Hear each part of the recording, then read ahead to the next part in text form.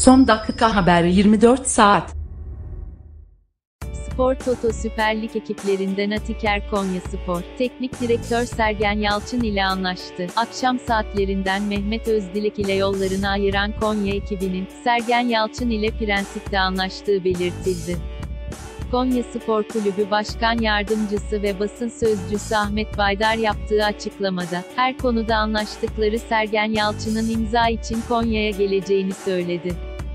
Baydar, yönetim kurulumuz Mehmet Özdilek'ten boşalan teknik direktörlük görevine Sergen Yalçın'ı getirdi. Teknik direktör Sergen Yalçın ile sezon sonuna kadar anlaşmış bulunmaktayız. Hocamız inşallah salı günü takımın başında olacaktır, diye konuştu. Öte yandan kulübün internet sitesinden yapılan açıklamada ise şu ifadelere yer verildi. Yönetim kurulumuz bu akşam gerçekleştirdiği olağanüstü toplantı sonrasında teknik direktör Sergen Yalçın ile sezon sonuna kadar prensipte anlaşmıştır. Sergen Yalçın salı günü takımımızın başında antrenmana çıkacaktır. Güneşe Trabzon'da tepki. Trabzon'u sattın. Fiorentina'nın kaptanı David Astori hayatını kaybetti. Pagi 2 Spor Toto Süper Lig'in 24.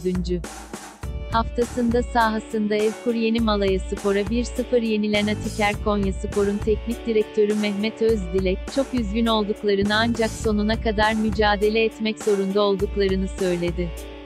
Karşılaşmanın ardından düzenlenen basın toplantısında açıklamalarda bulunan Özdilek, yakaladıkları pozisyonları gole çeviremediklerini belirtti. Rakiplerinin iyi savunma yaptığını anlatan Özdilek, gol atamamız dirençlerini artırdı.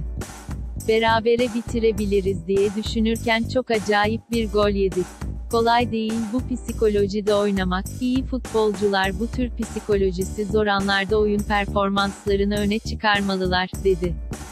Atiker Konya Spor'a geldiği günden beri ilk defa kendi sahasında üretken olmayan bir oyun sergilediklerini anlatan Özdilek, şöyle devam etti. Ayaklarımızın çok gitmediği bir oyun oynadık.